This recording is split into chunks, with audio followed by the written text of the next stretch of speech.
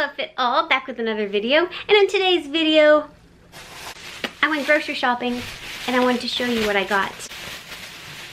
Do you know what this is? I'm sure you do. It's a cruciferous vegetable. It is one of the healthiest vegetables that you can get. All vegetables are healthy. But this is one of the close to best ones that you should gravitate towards. I'm gonna tell you why. Eating high amounts of cruciferous vegetables such as dark leafy greens and broccoli has been proven and known to prevent and fight against colon cancer, prostate, lung cancer, melanoma cancer, and pancreatic cancer. The sulforaphane found in broccoli is what gives the broccoli its cancer fighting abilities.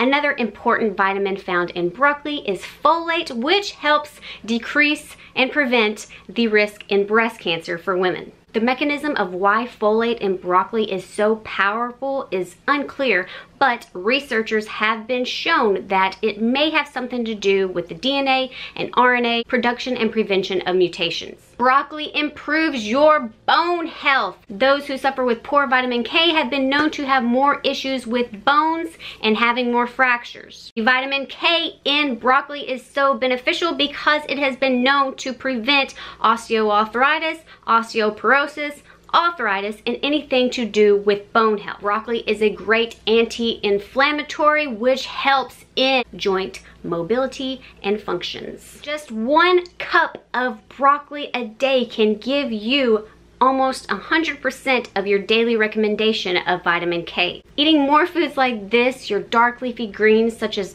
broccoli, Brussels sprouts, kale, cauliflower, which have vitamin K in it, can help increase your bone health. Vitamin K helps to improve calcium absorption and reduce calcium excretion for urinary. Eating a cup of broccoli a day can give you almost 50 milligrams of calcium, which contributes greatly to your daily intake. Broccoli makes you look younger. When you think of vitamin C, you don't normally think of something like this having vitamin C. You think of things such as apples, citrus fruits, oranges, plums, peaches, and such, but this has a great amount of vitamin C and antioxidants which have been known to help in preventing skin damage, help in fight and free radicals forming in your skin, just helps to give it an all vibrant glow look, helps in premature aging, wrinkles, keeps your hair nice and fancy. Vitamin C plays a very important role in collagen, and not to mention the vitamin A and vitamin E that is also found in broccoli that just helps overall boost the morality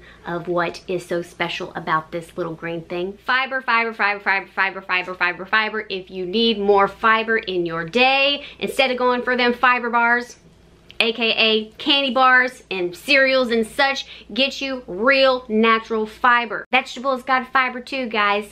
Adding more fiber into your diet will help you be more regular going to the bathroom, helps with constipation, helps with bloating. Now I'm gonna be real. If you're not used to it, it may make your stomach, you know, kind of do its thing, but hey, that's what it's supposed to do so you can go to the bathroom, let out all them toxins, get rid of harmful carcinogens. Not only does getting rid of bad things in your body help your body function better, feel better and such, but it actually boosts your immune system and decreases inflammation. According to the Department of Internal Medicine and Nutritional Science in Kentucky had shown and proven higher fiber intake in plants and vegetables such as these helped in decreasing heart disease, heart cancer, chronic issue, illnesses, sickness, diabetes, obesity, prevent in stroke, help to lower blood pressure, help to lower cholesterol, help to improve insulin levels and keep them stable. Need I say more? People fail to recognize that broccoli has protein. Plants have protein.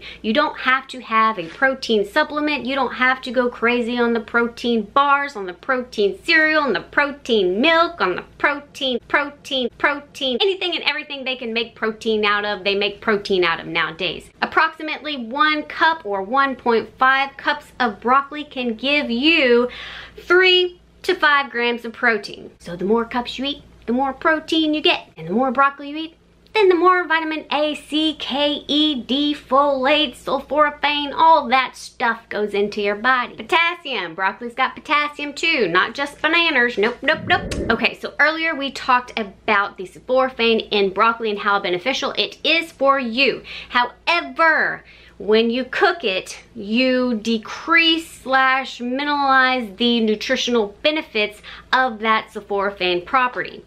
But what I had just recently learned thanks to Dr. McGregor, one of my favorite vegan doctors. He's got a book called How Not to Die. Gives you legit ways how not to die. So if you're trying not to die, check that out.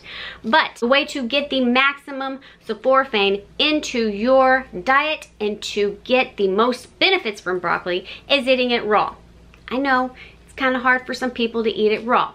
Don't drench it with ranch dressing. Well, if you have to, eat your broccoli. Do whatever you gotta do. Maybe just put a little bit of ranch, you know, like dip your fork into it and then dip it onto the broccoli and such. Start to try to incorporate it more into your diet. Get the feel for it. Get your body to get used to it and I promise you, you will start craving it. It's, it's so good. It's such a beautiful little plant we have here. So, Eating it raw gives you the most benefits of sulforaphane. What happens is whenever you are doing the mechanical chewing, it releases the sulforaphane properties and such.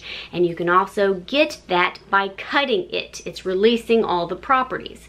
So, if you want to cook your vegetable, this vegetable, and still maintain those properties, then cut it wait 40 minutes, then cook it, and then add some mustard seed to it. Mustard seed has also been known to give some sulforaphane properties, you know, fighting against cancer, helping in overall health. And so if you like to eat your vegetables cooked, just sprinkle a little bit of mustard seed on there and that way you can give back the sulforaphane that was taken away while you cooked it. You can research a little bit more on that. That's what I've heard and that's what I do because Dr. Greger told me that, so that's why I do it. We do everything Dr. Greger says, okay? I really hope you did something great for your body today and I really, really hope you at least try to incorporate more broccoli into your diet and that way you can benefit from all the benefits. Talk to you later.